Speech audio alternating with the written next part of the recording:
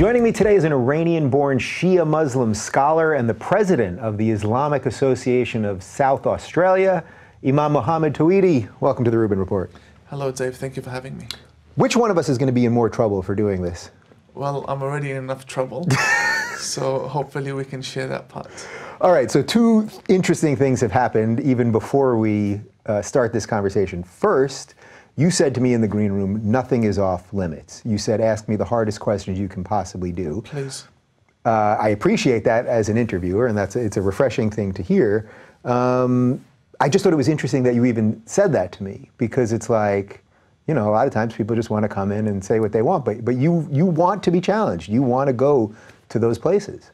Correct. Uh, I've had many interviews, over 400 interviews in the last two years, whether they be on radio or television or, or YouTube.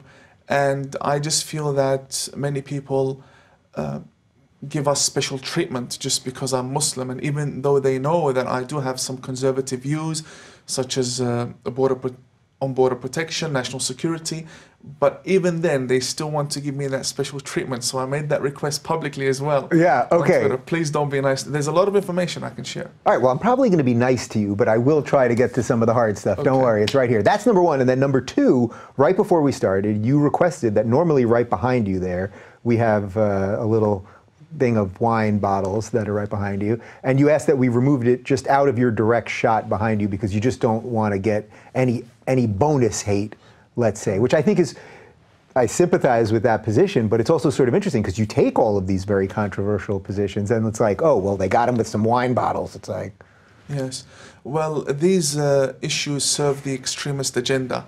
If the extremists can uh, obtain an image of me beside a wine bottle or a or in a bar for example then they can easily discredit me as a muslim imam because muslims don't drink and i don't drink either. But they can easily stick that accusation when they have a, a picture of me being close to a wine bottle. And uh, they want that and i'm, I'm not going to allow them to do that. How thrilled are they going to be that you're in the home studio of a gay jew? This cannot be a uh, that's got to be worse than wine bottles. Mm-hmm. what's the list? Well, I'd say 80% upset. yeah, they won't be happy. They won't be happy at the fact that uh, you have a large audience as well. So they try to silence me, and you've got people that try to silence you as well. So, but I'm happy to be here, gay or not, Jew or not. I'm happy to be here. Yeah, and I'm happy you're here. And, and all right, so let's let's let it fly. So first, just tell me a little bit about your history. You you grew up in Iran until you were about 12 years old, right? Correct. Yeah. I was uh, in Iran. Uh, for the first 12 years of my life. And then we traveled to Australia. We landed in 1995. My father is a prominent uh, Muslim faith leader as well, an imam. And he traveled from Melbourne, which we, we first landed, to Western Australia and established the first Shia Muslim mosque. And it was originally a church. He called it, it was called St. Mary Church. So he left huh. the name St. Mary Mosque. Wow. Yeah, out of respect for the the greater Christian majority. Huh. And uh, you see, my father, I learned tolerance from him. He didn't have that uh, belief in him that, oh, it's a church, it's filthy, we can't turn it into a mosque. It was for sale, the people welcomed the mosque. None of these terrorist attacks had happened. People were fine with mosques. And so the first mosque was erected in, uh, uh in uh, Perth, Western Australia. And uh, basically, I grew up there until 2007. I was raised uh, amongst scholars and Islamic teachings in a very conservative Muslim family. I come from. So, what, what does a conservative Muslim family mean? A conservative Muslim family uh, goes the extra mile to be extra religious. So, we wouldn't even go to banks or shopping centers that played music, let alone listening to music ourselves. Whereby other Muslims would not listen to music because it's banned, in, in mainstream Islamic jurisprudence, uh, they would still go to shopping centers and you know attend music lessons in in, in school. But we were very uh, very conservative. I, I couldn't wear anything shiny or anything like that, such as watches or necklace or anything like that. What was that like for you, just as a young person? That you know, I'm sure you knew that music was out there. I'm sure you knew movies were out there and video games and the rest of it. Yeah, I had never been to a cinema until I was uh, 20 years old. Wow. I've, I've never actually completed a movie. Now, I'm not here to uh, uh, play the oppressed person and it was harsh and I- I know you are to not. me. But I'm gonna be. I try to be as honest as I can. I didn't know what that life was like. So the life I was living was very normal. It was.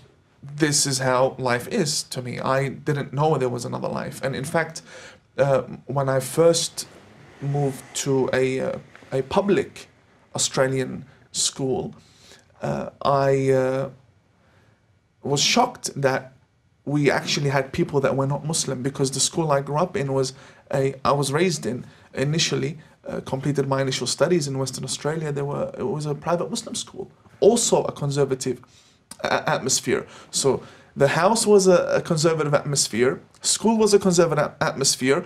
Up until 2007, I go back to Iran, and then you've got Sharia law everywhere. Wow. So I've never actually had time to be open to the rest of the world and just accept everyone. And that happened after, you know, my family was oppressed by ISIS in 2014 when I was still there studying.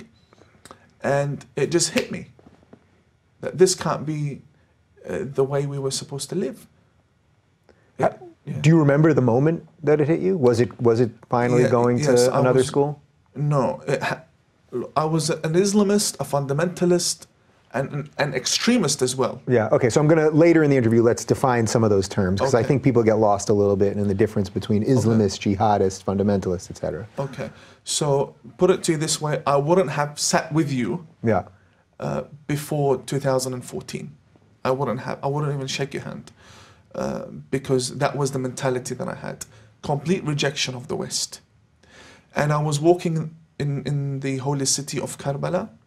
It's a Shia Muslim stronghold, and the speakers of the sacred shrine of Imam Hussein announced that Mosul, which is Mosul, the Iraqi city close to Baghdad, had fallen under the authority uh, of uh, ISIS. And that's what, an hour away from where I was. So that's when it really hit me. And then as I tried to leave the country, uh, I found a lot of struggle because airports were now blocked. These guys were shooting down airplanes. And the Australian passport that I had saved me. I was given priority and I returned back to Australia. Uh, but before all of this happened, my uncle was uh, kidnapped, burnt alive, who served in the Iraqi army. Jeez. And we had to go receive his body uh, from Baghdad. So this whole scenario woke me up. And when I came to Australia, I saw that, hang on, Muslims are killing Muslims. I've been interrogated in Iran for several times for my views and, and opinions. And the Muslims in Australia are playing the victim card, crying Islamophobia. So then I started to form diplomatic relations and public relations to combat extremists. So what was it like right when you got onto the scene, right when you started being more public about this? Because I'll be very honest with you, when I first saw you on Twitter and you were tweeting about some of these things, I thought, I, I, I can't. Well, so immediately everybody was like, Rubin, you've got to have Imam Tawhidi on. Everybody was saying it, and I was like, this guy just came out of nowhere. I, I can't just magically sit down with him. I am not perfectly versed in all of these things, obviously, and I, I don't want to be used as a pawn, basically. So, what was it like as you started talking about these things from the, the inside community and the outside community? Okay, the inside community knew who I was Yeah. because of my lineage, because I descend from the the companions of Prophet Muhammad, one of the early converts from Christianity into Islam, and you know shared their wealth and their military and their tribes and everything, uh, military power with Prophet Muhammad, and they went through, throughout Arabia uh, in all the wars. And I've written in my book that they're terrorists. So I, my prominent lineage uh, my father, my grandfather, and also the fact that I was close to the Grand Ayatollahs and I was ordained publicly as an Imam. So the, the inside world of Islam knew who I was. Yeah. And I still had Facebook, I still had Twitter, you know, very humble following, a basic following, and but I was still known. Not the big Twitter star you are now. Well, life changes. Yeah. so what happened was the Muslims knew me. And there are many forums now dating back to 2008 that discuss what I'm doing. So they knew who I was. Right. But as you as you started speaking up against Yeah. these I things, I didn't have plans to speak out. I didn't have plans. I'm going to be honest with you. Many people think that I have an agenda. I didn't have any plans. I was discovered by. Uh, look how I'm putting it as though. Yeah, but. American Idol, Yeah. Australian Idol. Yeah, Let's no, go. Uh, I got a call from uh, Channel 7, uh, an Austra- uh, one of the best Australian channels, top channels. And they had a program called Today Tonight. And apparently they Googled Imam, Adelaide, Muslim, just to get a comment. yeah. So they came in wanting a, a three minute comment on a certain issue.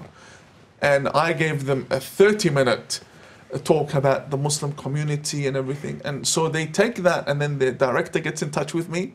And they're like, you know, we can do a lot with what you're saying. And you have this we didn't know.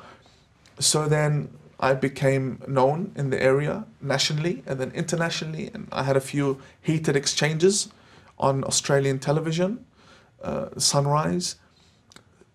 Yeah, were those usually with, I suspect they were probably with white people on the left. Is, that, is that fair to say? Uh, well- or, or maybe maybe with people more extreme on the right.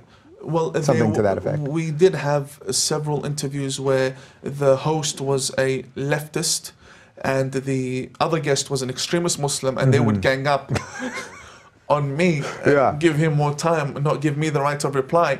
Or for That's how you know you're doing something right. yeah, right? or Yeah. write articles about me without even uh, asking my opinion, or just pops up article one, article two, article three, and yeah. So, so were you shocked once you started talking about these issues and, and the problems that you see within Islam and the, and the solutions that you see? Were you shocked where you were getting comfort from and where you were getting hatred from?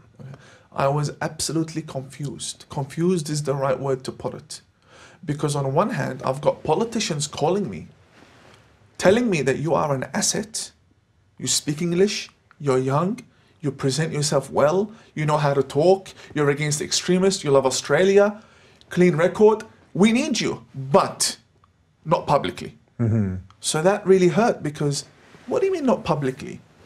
You want to work with me behind the scene, but you still want to visit the extremists for votes. Why wouldn't they want? Oh, so that's purely votes because so that really does tell you about some demographic stuff, I suppose that we'll It talk does, about. yeah. So they'll they'll sit with me privately, and these meetings aren't uh, official meetings. No, no, no. I would actually have my my turban on the side, and we just I'll open some buttons, and we just it was a very relaxed gathering with these politicians. For the record, you walked in here turbanless, Turbanless. And, and without the robes. Exactly. so Exactly, just you know, FYI. and uh, it was a very uh, friendly gathering with the gifts. We would exchange gifts, but as soon as it, the, the issue turned public, it's like they don't know me. So that almost gets to the heart of exactly why the discussion around Islam is so difficult because every time someone tries to come in and talk some sense about the difference between an ideology and people and all of the, the sort of moderate things that I see you uh, talking about all the time, you guys are the ones that get thrown under the bus. There's so many examples of this of almost every minority that tries to fight from within. They're the ones that get thrown under the bus, and then all that does is strengthen the extremists. I think what helped me a lot was the fact that I had a political advisor, a man who worked in the in the Australian Parliament for 40 years, retired now, uh, Australian, so born in Australia, non-Muslim. Yeah. Can, And- can I ask you his name? Just Uh, no. okay. I'm really sorry because I fear for his safety. okay. And basically, this man was giving me advice as to how to handle the media. Because, look, Dave, you asked me a question about how I felt. Let me just give you one scenario so you know exactly what was going through my mind. I'm criticizing extremists on Twitter. I get a phone call from the uh, ABC in Australia. This is the, the main uh, Australian Broadcasting Corporation. And they asked me, what is my opinion uh, about claims that I am aligning myself with the right? And I said, what is the right? I did not know. So I came from a completely uh, conservative Muslim background. Now I'm trying to serve humanity. This is my only agenda to serve, going against the extremists. And someone's telling me that there's left and there's right. Now I have to sit back Yeah.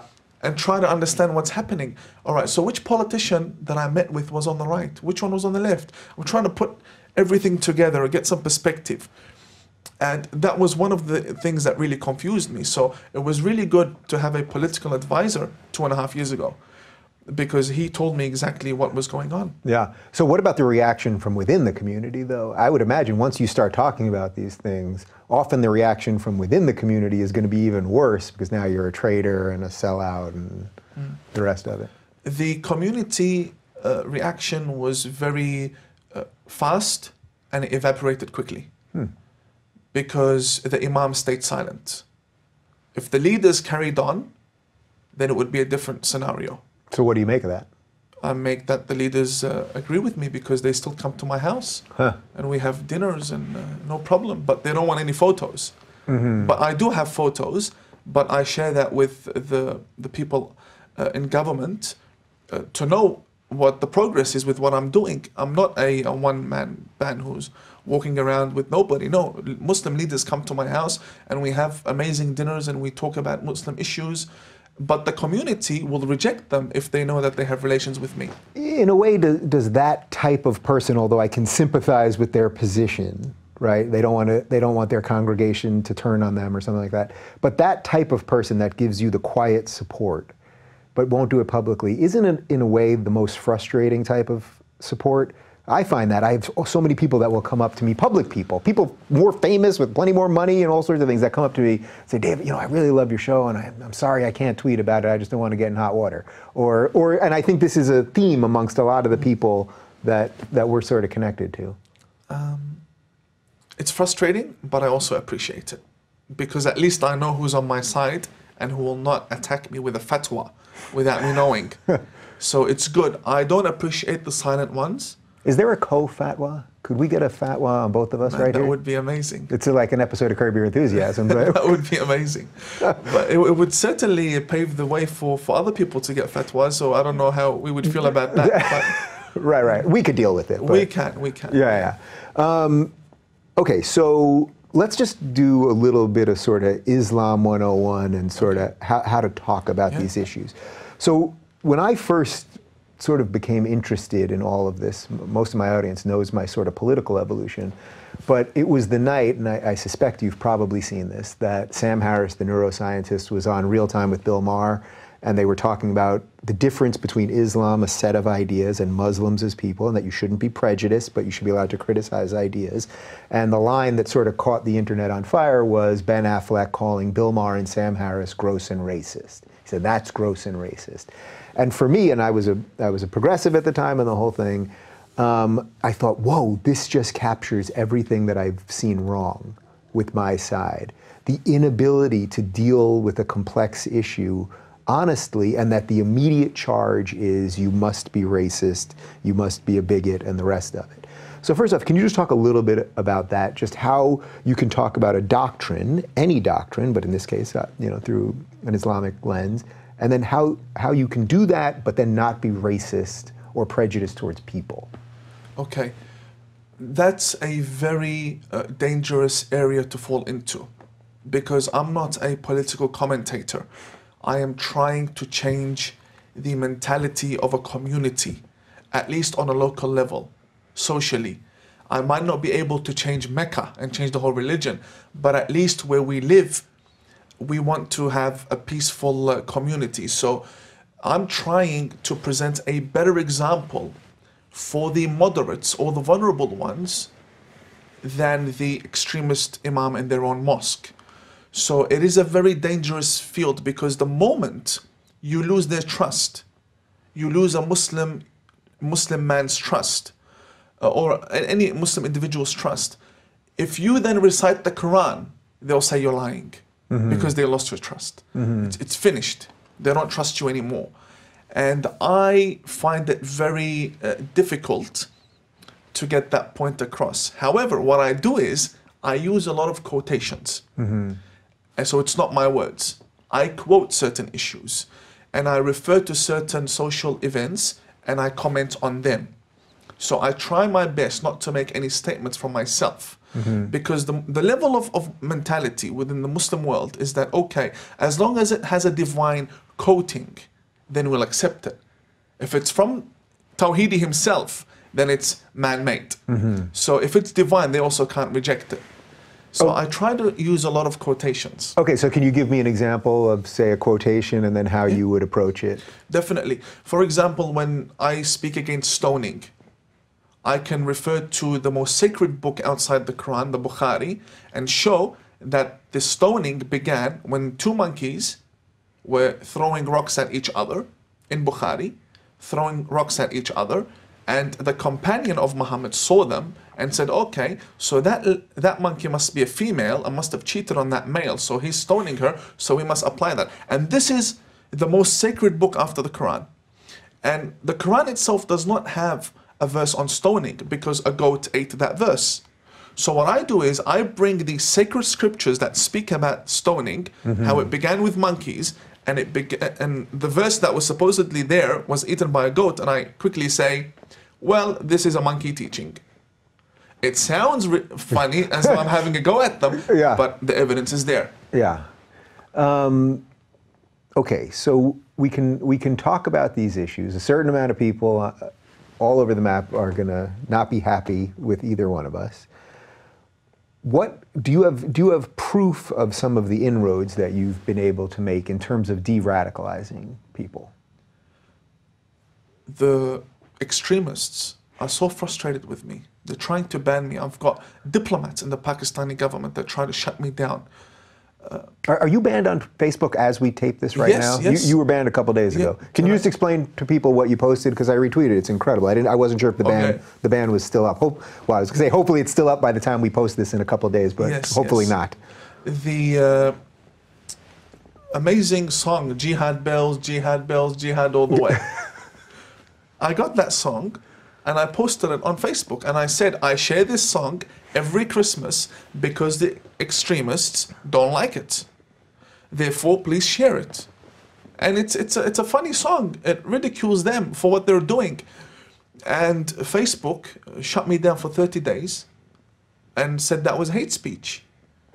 And that was it. So I find it very ridiculous. This is the ninth time Facebook has blocked me or banned me or unpublished my page completely in 2018.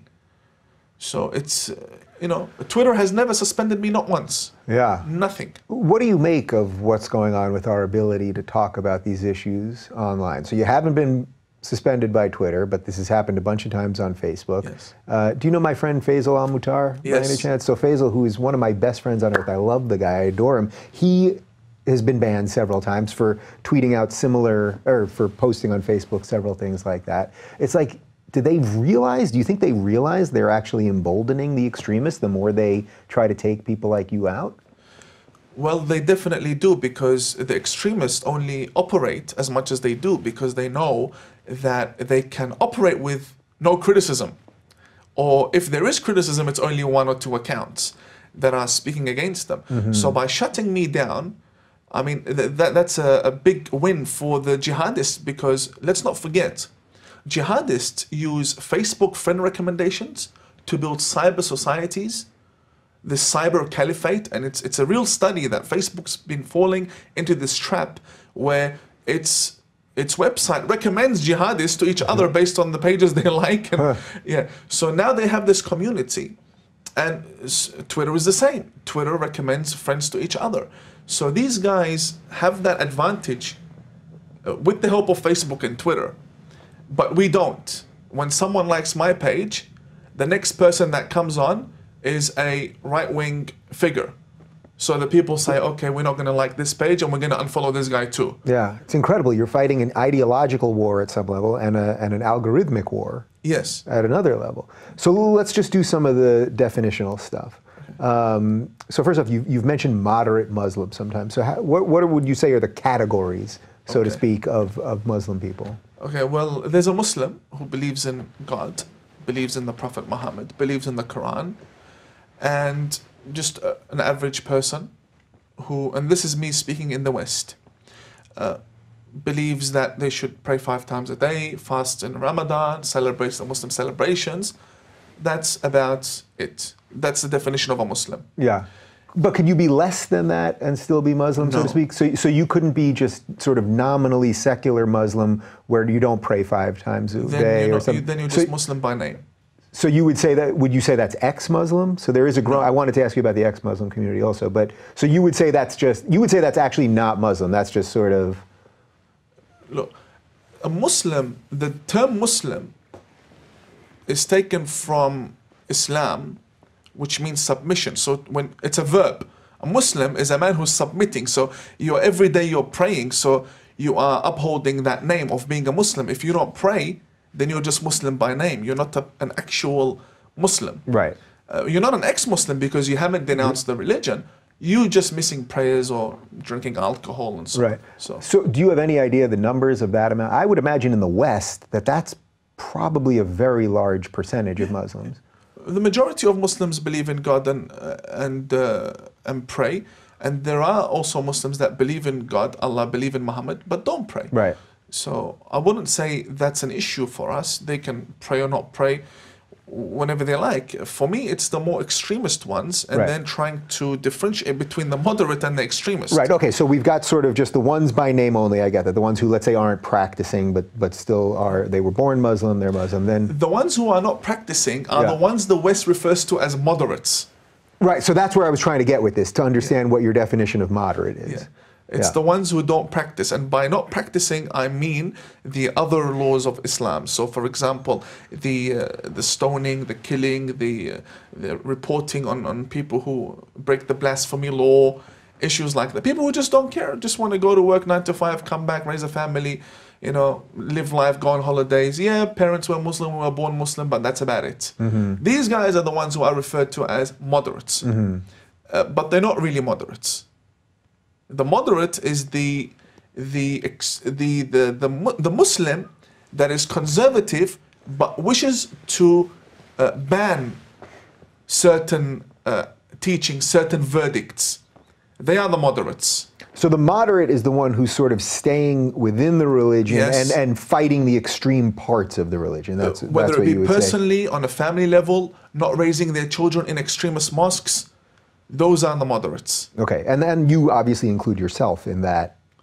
Well, Uh, well, I can see why this would be a tough question. For Uh. I don't believe in, in something called moderate Islam. Now, just for the viewers to Yeah. not get confused, Yeah. I'm answering your question based on what society and what Islam says. My personal opinion could be another thing. So you might want to ask me what my opinion is on this issue. I don't believe there's a moderate. Well, let's pretend I asked you your opinion on this issue. There is no moderate uh, Islam. Islam is, is Islam, and uh, you're either a reformist, a reformer, a reformed person, or you're still a Muslim. Uh, the Muslims who don't uh, chop the hand of the thief and don't stone and uh, and don't uh, you know apply the violence of Sharia law, they they've diverted away from the core beliefs of Islam. So, in a weird way, you're an imam who also, you obviously have a great, uh, affinity is not the right word, you have, you have a great respect, I suppose, for the, for the ex Muslims in a way. the ex-Muslims have every right to be where they are. Yeah. Because now is the worst time to be a Muslim. And when a Muslim has a problem or is facing a problem, whether it be inheritance, financial issues, abuse at home, divorce after being married off, uh, you know, at a very young age, they don't find the person who listens to them the majority of imams in mosques have zero qualifications when it comes to counseling, when it comes to solving real life problems. They only know how to talk when it's against Israel, against the Jews, and to play the victim card and basically spread news about what they're doing in society. So the ex Muslims, the majority of them leave the religion because, number one, they really feel it's not for them anymore. And the people who paved the way for them. Uh, right, I do know that some people read uh, Richard Dawkins or read certain books and then change their religion or leave religion completely. But ISIS makes more ex Muslims than any intellectual in the hmm. West. So, to, if we want to blame ex Muslim for being ex Muslim, it's the, Muslim, the, the fundamentalist hmm. Muslims that made them ex Muslim. They're the ones who are making them leave the religion. Right, and that's completely contrary to what the media would portray about this. They, they would say it's it's that if you talk about any of this, you're driving people Yes. to become extremists, which, as many people call it, this is the soft bigotry of low expectations. If I was to say anything that might offend you, you would automatically become an extremist, which is such a horrific way of, of viewing a, another human being. You know, is there something that I could say to you that somehow you might end up blowing me up? Nothing. If you were to kill me and I'd come back to life, I'd still hug you. Seriously, I'd still shake your hand. All right, you got nothing to worry about, brother. um, okay, so let, us just do a little bit more of, of the def. Okay, so wait, so we have sort of the ex-Muslims and the nominal Muslim, then then the moderate that you say is not really a, a thing actually. Then can you sort of explain uh, Islamist and jihadist? Okay. And if there's anything else that I missed within that. Uh, Islamist is an individual that believes in preaching and spreading and expanding Islam and the message of Islam through militant means. So they would spread Islam by the sword and now the tactics are a bit different. Now it's getting through Congress. So before it was by the sword, now it's getting themselves into parliament and then making laws that act as the sword, the Islamophobia law in Canada, M103. Yeah. Uh, so uh, an, an Islamist would silence you just to spread his agenda. Uh, that's different from a Muslim. A Muslim would say, okay, this is the Quran. I believe Allah is the right God. I believe Islam is true accept it, you don't accept it, you're not going to be saved. Good night, good night. That's basically a Muslim. An Islamist will actually go the extra mile of kidnapping someone because they drank alcohol and whipping them because they believe that is the right thing to do. We've seen across Europe, statues are being destroyed because it's not allowed in Islam. So that's an Islamist. Uh, an Islamist uh, organization would be uh, Hamas. Hamas is an Islamist organization that did terrorist uh, doings. It's responsible for terrorist activities. So then it became a terrorist organization. But its ideology is an Islamist ideology. Mm-hmm. So two-state solution is, is not an option. They need to be eliminated because our message is the right one. That's an Islamist uh, mentality. Mm-hmm. Now, the other person or the, the other group of people would be the fundamentalists. A fundamentalist Muslim wants to preserve uh, the message of Prophet Muhammad and live like Muhammad the same way he lived.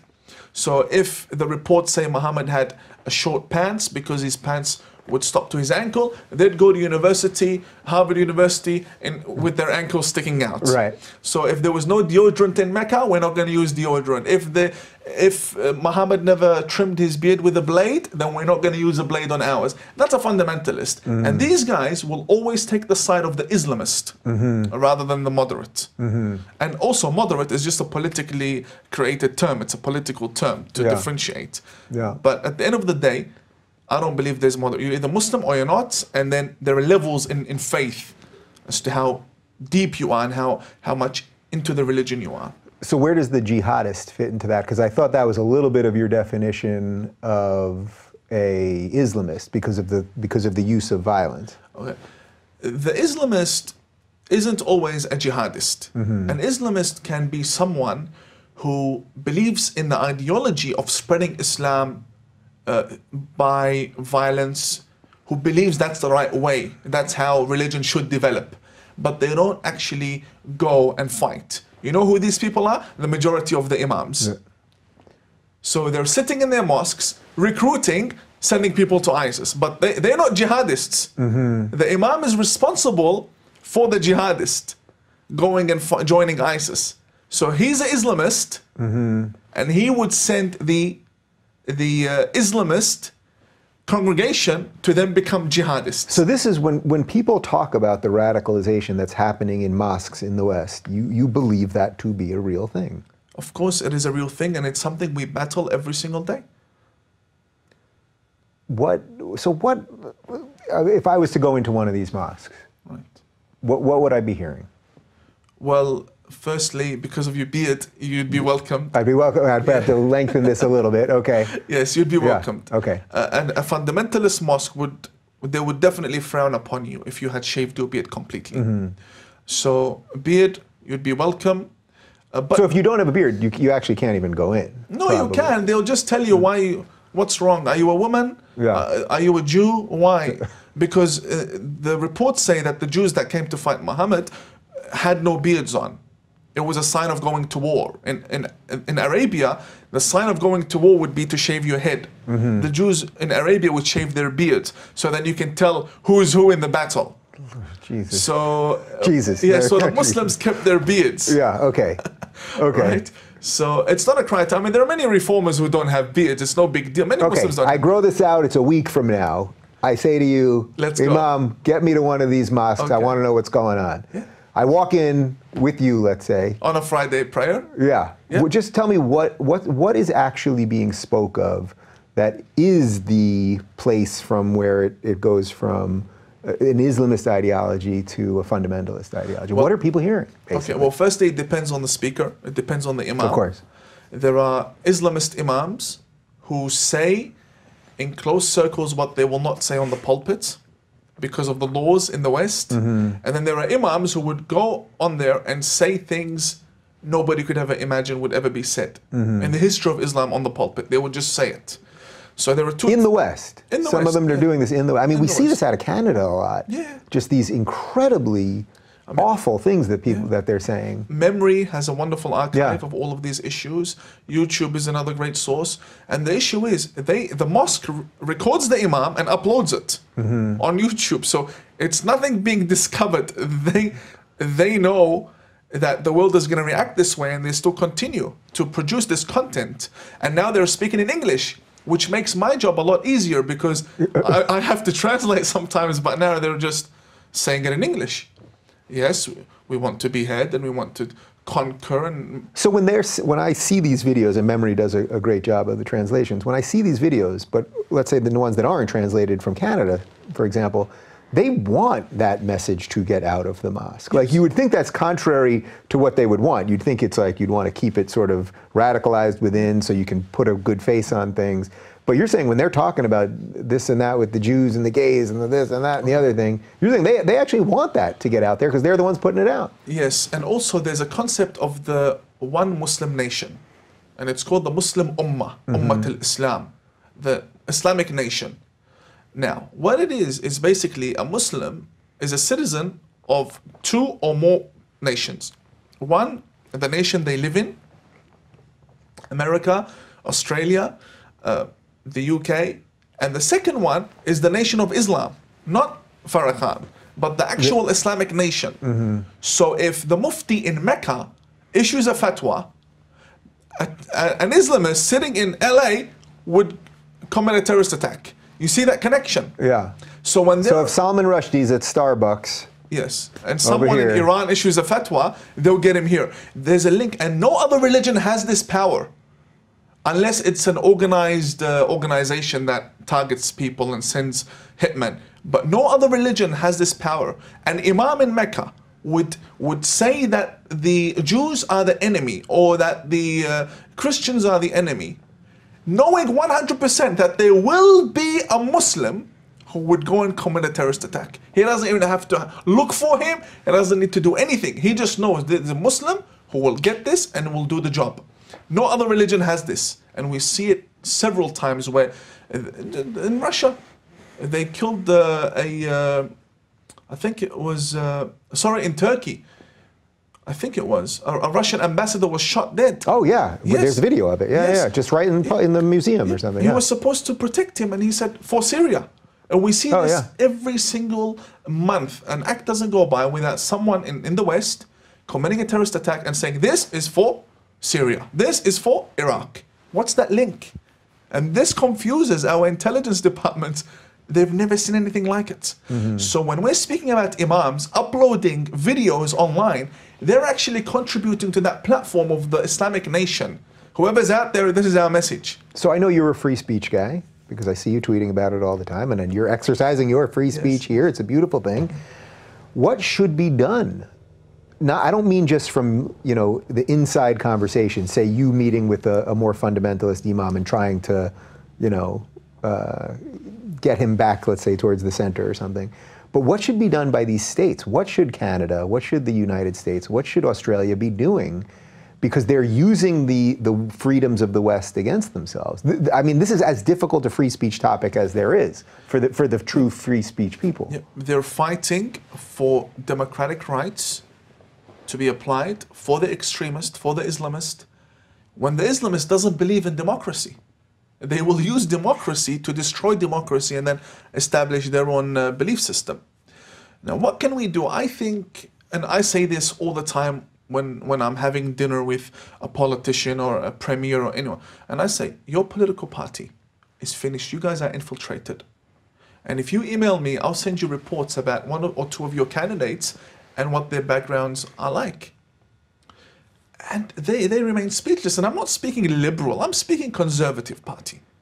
I'm speaking uh, parties who, you know, we have hope in. Okay, these guys will seriously serve uh, uh, the cause of national security, will, you know, tighten uh, the, the situation at the borders, won't let these jihadists come in. Uh, refugees who end up being jihadists, we've had them in Australia.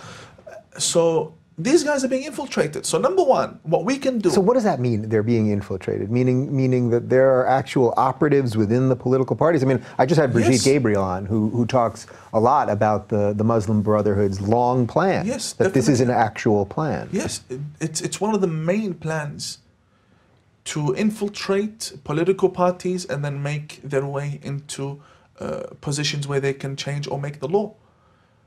And we've seen this numerous times. I mean, my book, I speak about uh, a lady, uh, Khatib. I mean, uh, she became, uh, well, she's deceased now. She passed away, but she she actually said that the, her long-term goal is to make all of America Muslim, and she was getting grants from the American government. She was overseeing educational curriculums. And and you see this. I mean, even in the United States, I'm I'm, I'm not totally sure this is her name. Ilhan Omar is that her name? Yeah, the representative in Minnesota. Yes. Who just got elected, and you know she, they found old tweets of hers where she's saying, you know, uh, the Jews or Israel has pulled the wool over something, and Allah has to take care of this. And then the entire time that she was being elected, she kept saying she's against boycotting Israel. The day she gets elected, now she's for it. So so this is not just pie in the sky- stuff that you're talking about. everything you see in the Muslim world when it comes to politics is all studied, is strategic, it's all planned, well funded, well organized, and they know exactly what to do and when to do it. All the media that's going on now against the uh, the, the organizations such as CAIR, they do no harm to CAIR whatsoever. CAIR has a clear vision and they are reaching their goals because there are loopholes and there are cracks within the system and they're equivalent in Canada, they're equivalent in Australia and these you know these loopholes within uh, the government keep getting bigger and bigger as these guys get elected. And I don't want to scare your viewers, but all I have to say is these people are very smart people. They're not what the media says that when they actually attack, then they're mentally ill or these people are uh, you know, minorities. No, they're very strategic and they're very, very smart, which is why intelligence services around the world need hundreds of millions of dollars just to keep up with what these guys are doing. That we need these resources to understand how they operate and they keep learning and they're getting better and better. What do you make of the uh, the progressive alliance, seemingly with Islamists? I, I to me, this is like the biggest piece of this. I, that you've got certain pieces pieces of the left that are just useless idiots, basically, or they're useful idiots, not useless. They're useful because they're allowing these people to attain power in the name of tolerance. And it's like, well, you guys will just be the last ones to be beheaded. I mean, that's really the way I see this thing playing out. First, when I was an, uh, a fundamentalist, Islamist, someone who rejected the West, rejected dialogue with the West, my best friends from the outside world, you know, and I wouldn't say they, they were friends who I knew personally, but the people who I considered our friends, our allies, were the leftists.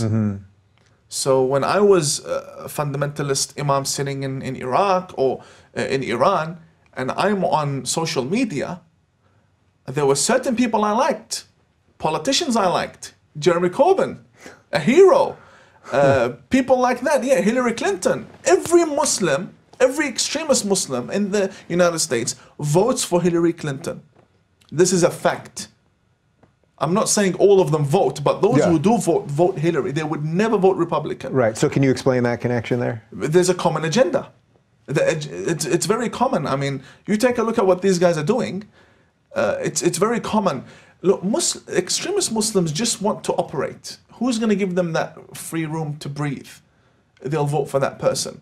And Hillary and Obama, these guys, they funded ISIS. They funded ISIS. They funded the Mujahideen, the jihadists, these rebels who killed my family. And these guys fund them.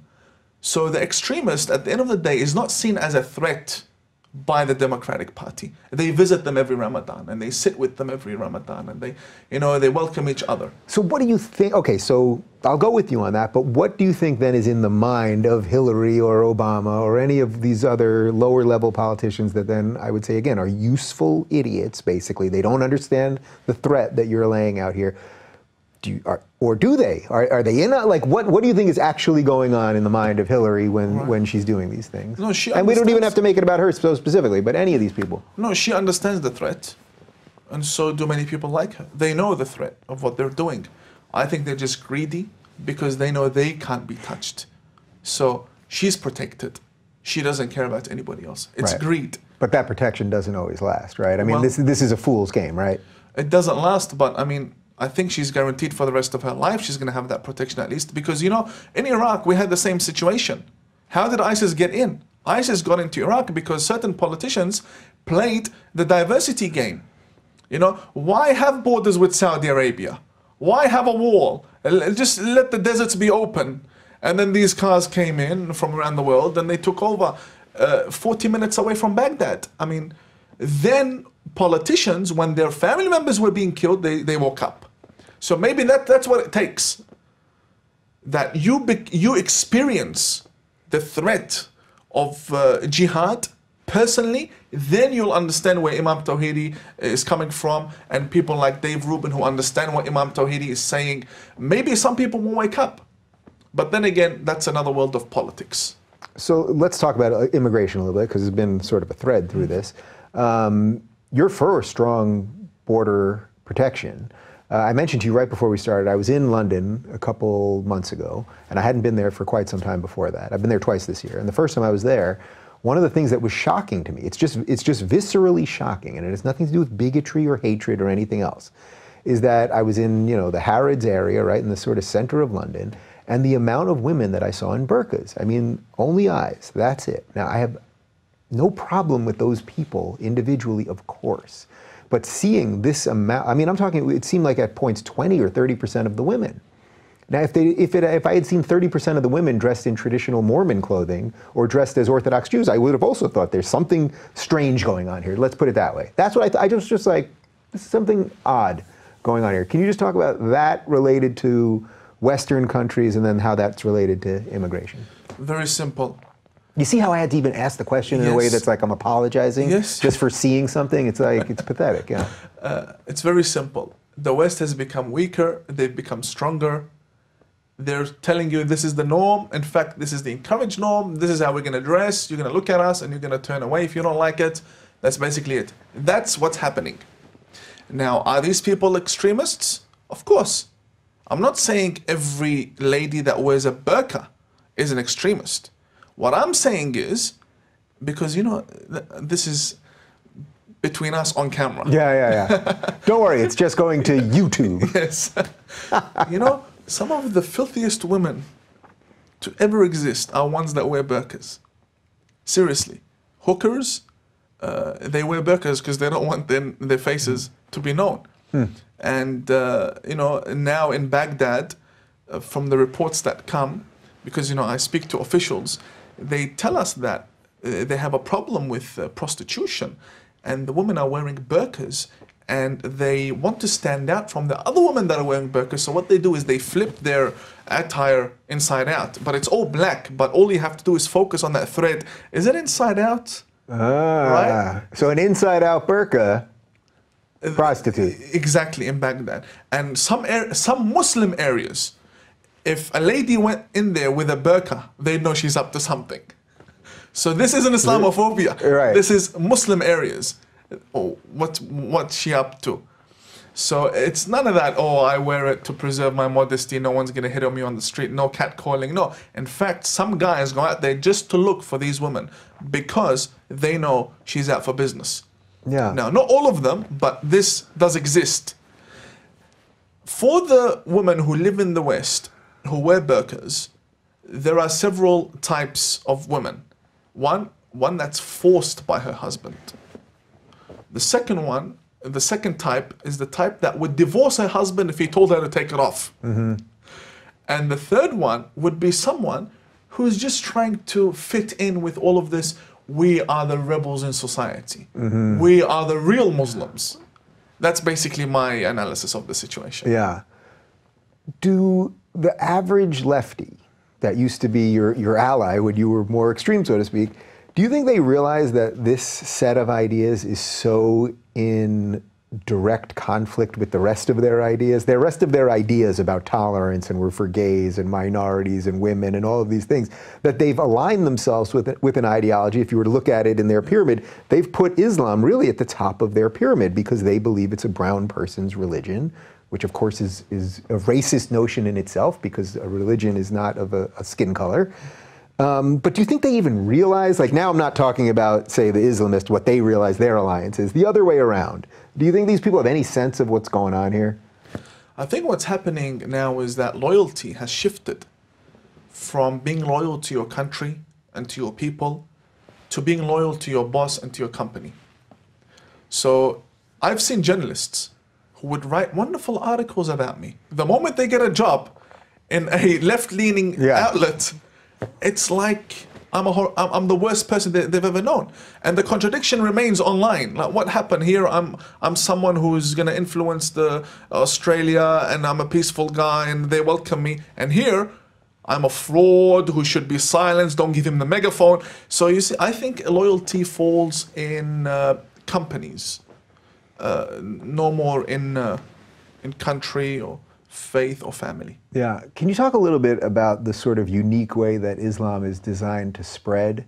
So, are you, are you familiar with Dr. Bill Warner, who does uh, politicalislam.com? So, one of the things that he said when I had him on, I think this is probably over three years ago, that I thought was interesting, he said that religions are designed to spread differently. So, Judaism, for example, it's very hard to convert. You have to do a lot to convert, but if you want to get out, you just basically say, I'm not a Jew. Every Jew would be like, ah, you're still a Jew, and, and then that's it.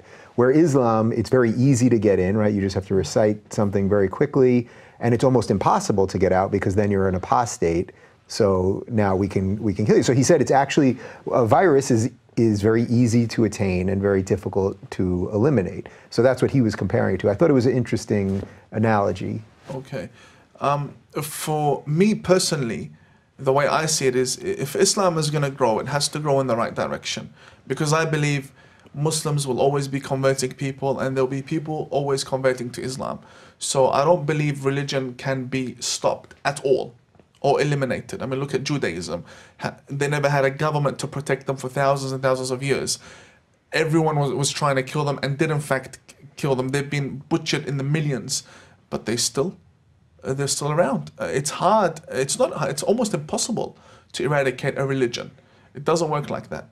Uh, so that's my take, my position. So I don't see it as a virus. I just believe people will always have certain opinions and and change religions. What I do acknowledge is the fact that Islam is very strategic in uh, recruiting adherents to its belief system. And this isn't all Islamic schools of thought, but the majority of them. So the majority and mainstream do actually have a strategy, and it's called through da'wah. Da'wah.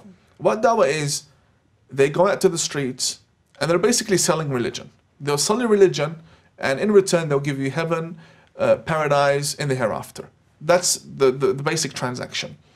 And you know, there's an audience for everything. This is a fact. And many people do embrace Islam because of the promises that they get. I mean, if you're a businessman and you're stopped by one of these stalls, they'll tell you there's so much wealth waiting for you. One prayer will build you five castles. If you're a farmer, they'll tell they'll promise you massive farms in in paradise. If they know that you like women, they'll promise you plenty of women, like the jihadist 72 virgin issue. 72 virgin seems like a bit much. No, the actual teachings say each one of these 72 virgins comes with her aides. so it's actually more than 72. And, the, and the, the, the actual number 72 or 70 in the Arabic language just means a lot. It means unlimited. Oh, is that It's right? like, I've told you a million times. Oh, okay, Yeah, okay. like All right, that's good to know. Yeah, so it's not actually 72. Okay. Um, and it's not raisins either.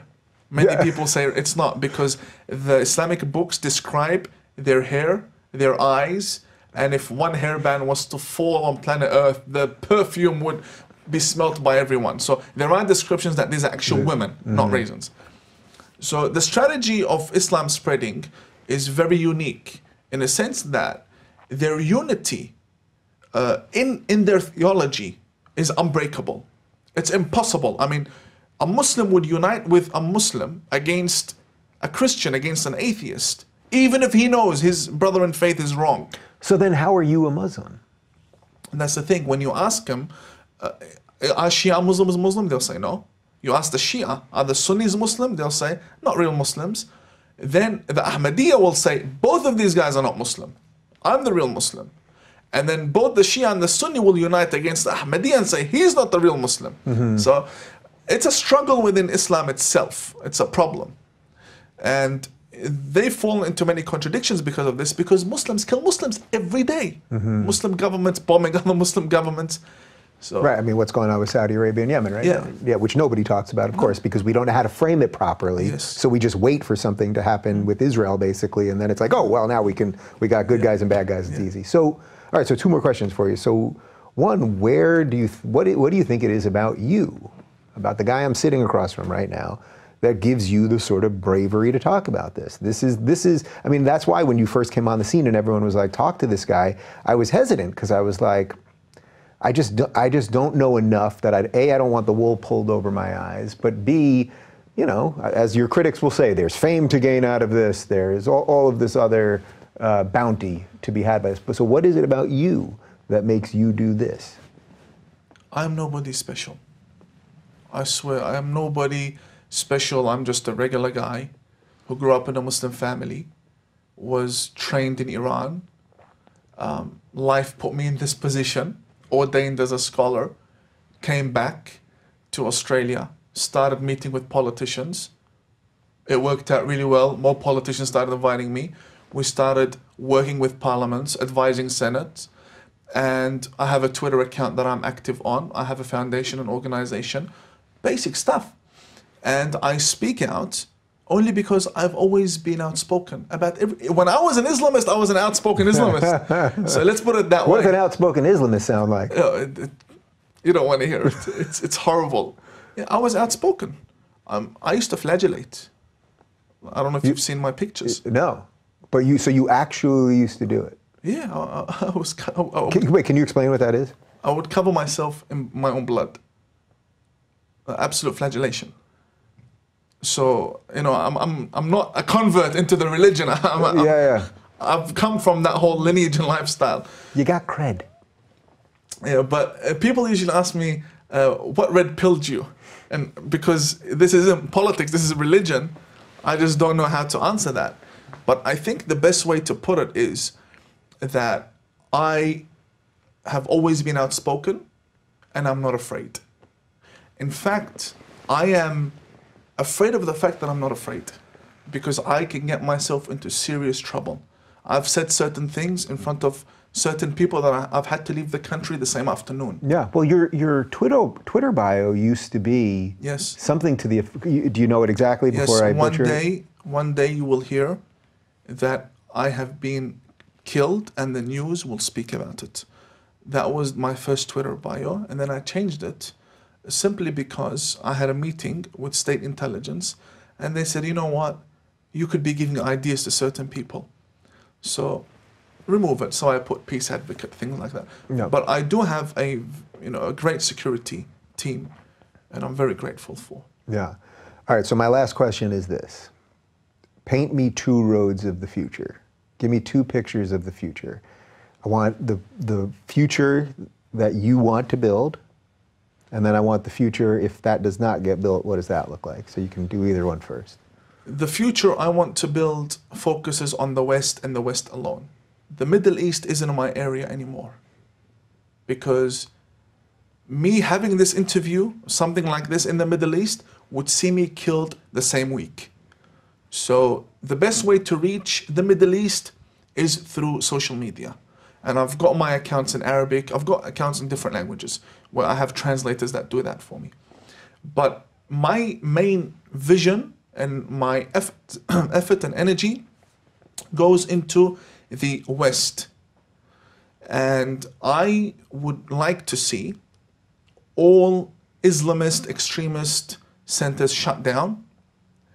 Uh, the people who are fundamentalist and have been sponsored by terrorist organizations such as CAIR to lose their positions in, in government. I would like to see a honorable leader of a country that cracks down on these extremists. On the other hand, I would like to see the so-called moderates or just the regular Muslims speaking out more and their imams being more vocal against extremists and have this unity as a society. You could be Jewish, I could be Muslim, our friend could be Christian, and we could just sit down and have a meal together, shake hands, go to you know a match, watch a match together, watch a movie. No problem in that. Which people are doing every day in the West. Yes. By the way, we shouldn't forget that, right? Yes. It's like we are doing that. Exa- So after this interview, I go back to Australia, and I go back into the Muslim community. I don't go back to meeting with Jews and Christians. I do that in my interfaith work. But I actually live amongst the Muslim community.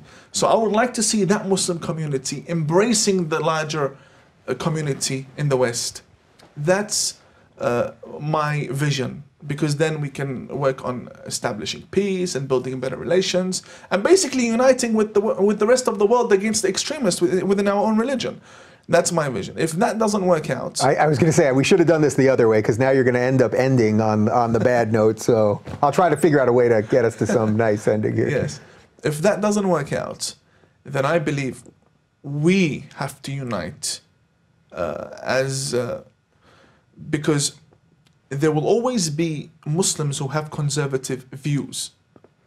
Do you know how many Muslims vote for Trump? Many. They fled from the rulers who Trump is now putting in line. So they would vote for Trump just for that very reason. That they know that their rulers back home can't start war with other countries who are allies with America.